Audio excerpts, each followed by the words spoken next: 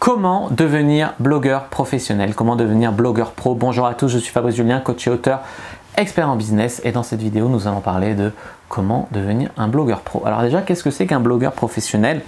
Eh bien, c'est quelqu'un qui vit de son site internet. Alors, si vous générez moins de, je sais pas, moins d'un SMIC, déjà par exemple, avec votre site internet, vous ne pouvez pas dire je suis blogueur pro. Euh, vous avez peut-être un complément de revenu, peut-être que vous vivotez, peut-être que vous êtes au chômage à côté, mais vous n'êtes pas blogueur professionnel. Donc, au moins un SMIC, moi je pense que pour vivre correctement, il faut au moins gagner 2000 euros, d'accord? Ensuite, il faut avoir une structure juridique pour être professionnel, d'accord? Structure juridique pour débuter en blogueur pro, en général, on fait un truc d'auto-entrepreneur. Donc être auto-entrepreneur, sinon on peut passer en SASU si on a vraiment de grandes ambitions, mais auto-entrepreneur c'est un statut qui est pas mal pour débuter. Et puis euh, pour devenir blogueur pro, vous devez euh, aussi vendre des choses. Alors vous pouvez vendre des produits par affiliation, vous pouvez vendre votre influence, d'accord? Vous pouvez vivre grâce à la pub, mais là il faut beaucoup de, beaucoup de visibilité. Euh, vous pouvez vendre des produits, d'accord, un produit d'information, par exemple des PDF, des, des e-books, des formations vidéo. Vous pouvez vendre aussi même des produits physiques, pourquoi pas, mais ça vous oblige à les gérer, à les envoyer, etc. Par contre, si vous vendez des services, si vous avez un site internet sur lequel les gens voient votre page, par exemple vous êtes coach en séduction, vous faites que des coachings, vous n'êtes pas blogueur professionnel, vous êtes coach et votre site est votre vitrine, d'accord, mais vous ne vivez pas de votre site. Vous échangez votre temps de coaching contre de l'argent, ce qui est différent d'un blogueur pro qui lui va quelque part automatiser ses revenus puisque les ventes se font toutes seules et il n'a qu'à créer du contenu. Voilà ce que je voulais vous dire. Alors pourquoi vouloir être blogueur professionnel? Il y a beaucoup d'avantages. Il y a la liberté géographique. Un blogueur pro, il peut travailler de n'importe où dans le monde, n'importe quand. Euh, voilà, il suffit d'une connexion internet et il peut travailler.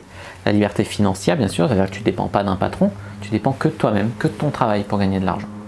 Et puis une certaine euh, liberté en fait euh, de hiérarchie, parce que moi j'ai beaucoup souffert par exemple de mes patrons dans la compta, qui ils avaient besoin de toi, même ton travail n'était pas mauvais, mais ils te mettaient plus d'acteurs pour que tu en fasses plus, que tu sois plus productif, plus que ci, plus que ça. sur les trois patrons que j'ai eu, j'en ai eu deux qui étaient vraiment très très dur. Donc euh, ce que je veux dire, c'est que ça peut te libérer de la hiérarchie des blogueurs professionnels. Ça te permet aussi de te libérer ton emploi du temps, tu peux travailler aux heures que tu veux, ça te permet par exemple de profiter de ta famille. Tu peux dire je vais chercher mes enfants à l'école à 11h30, je vais chercher à, 16h30. Si tu as un travail de bureau, que tu travailles jusqu'à midi et jusqu'à 18h, tu pourras moins voir tes gosses par exemple. Ça te permet même de, te dire à telle heure je vais au sport, ça te permet de t'organiser tes journées à ta sauce. Tu sais, il y a des gens même qui aiment travailler la nuit.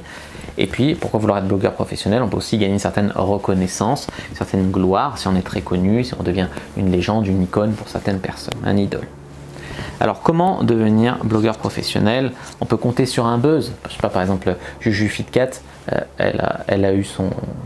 Elle est sortie avec Thibaut InShape et le mec il avait 5 millions d'abonnés, il l'a fait monter rien qu'il a parlé d'elle, il s'est affiché avec elle, elle a pris beaucoup d'abonnés. Elle on peut aussi avoir un buzz, genre un mec qui fait une vidéo sur un sujet, il se fait connaître comme ça. Genre le mec qui avait fait une vidéo sur le youtubeur qui avait plagié un américain, il s'est fait connaître comme ça. Sa vidéo a buzzé, il a eu une grosse base d'abonnés comme ça. Après, il a continué à grandir. Un buzz, ça peut vous aider.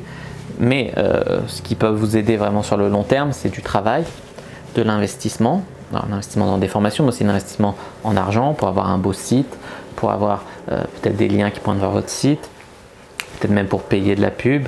Euh, il vous faut une bonne idée de niche. Euh, une bonne idée de niche, voilà, on peut être blogueur professionnel, mais pas forcément sur n'importe quoi.